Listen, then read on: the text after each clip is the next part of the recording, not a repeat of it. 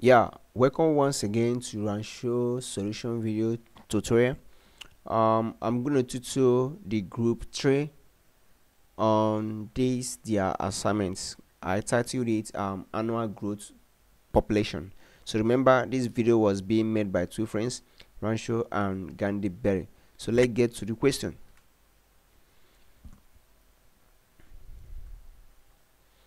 So the question simply says, supposing that the Anambra State University have an extra growth in its student population for, for the past 12 years at the rate of 26.5% annually. Develop a chart that will display the growth.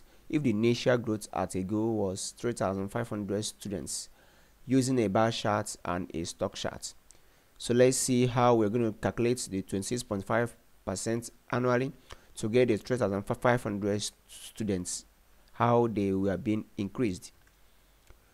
So um, in our calculation uh, we find out that uh, to get this done just to get the 26.5 percent of 3,500 students we now have that 3,500 times 26.5 all over 100 we simply give give us 928 students. So note um, every year they increase by 928 students.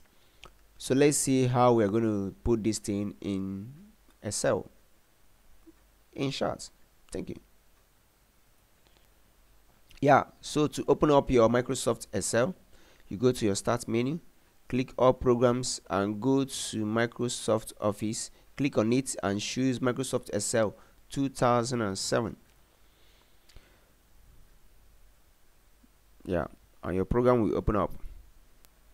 So here I've already um, solved the solution to the question. So but I want you guys to know how to do this and do it on your own. So um, on how to fix this stock chart and bar chart up. So let's get started. I click on um, my sheet sheet 2 to get a new sheet yeah so actually this is my data. According to the question is starting from 2002 to 2014 that's the present year.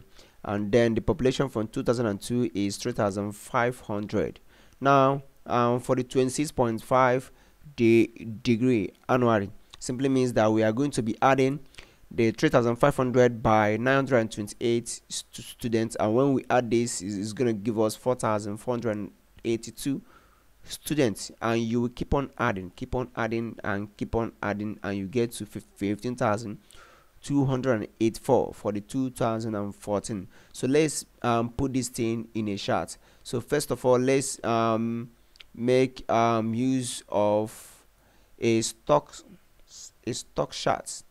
So in a stock uh, start you just highlight this click insert and choose other charts all chart types um you go to stock and make use of this one. If you try to make use use of this it's not going to work. If you try to make use of this it's not going to work. And if you try to make use of the volume uh, open high low close is, is is not going to work. The only one that is going to work is going to be this one a high low close and you click on it and click ok. And thing will now display. So actually here let's put our title bar to put your title bar make sure you get to your chart tools. Choose um layout your chart title above the chart so here we're supposed to name the, thing something like um school population.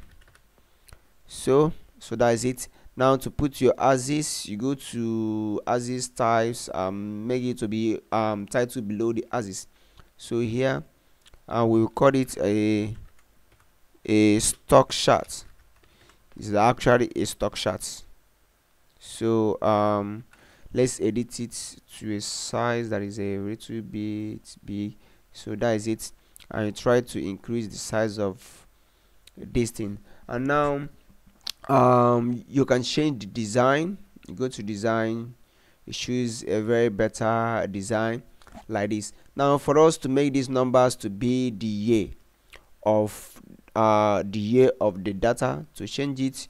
You just um, um, click here right click and say select data. So when you select a data you choose the year because you actually want to modify the year and you click edit. So in the year you now put 2000 2001 2002 comma 2003 comma 2004 comma 2005 comma 2006 comma 2007 comma 2008 comma 2009 comma 2010 comma 2011 comma 2012 comma 2013 comma 2014 so this is the actual year from 2002 to 2014 you okay it and okay it here too.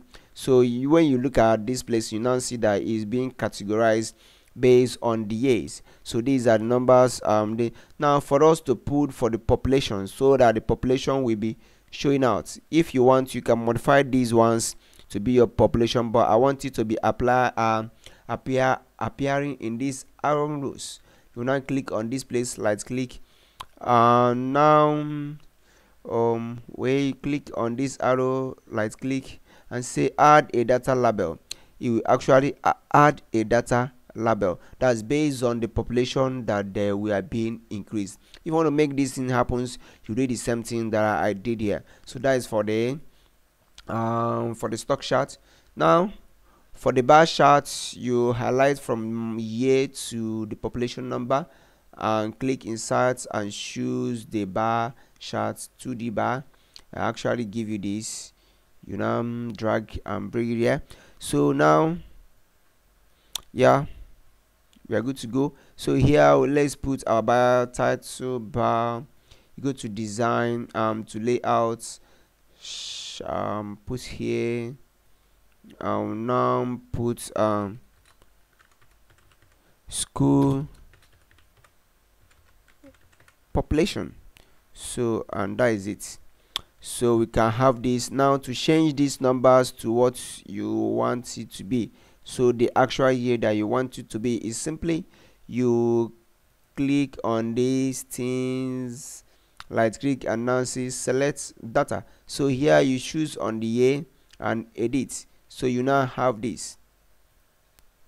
So you, you now enter from 2002 to 2014 and okay it and okay it here. So you can now find out that um, from 2014 is now showing the numbers that is supposed to be showing. Uh, you can make it to be big so that every data will be showing up.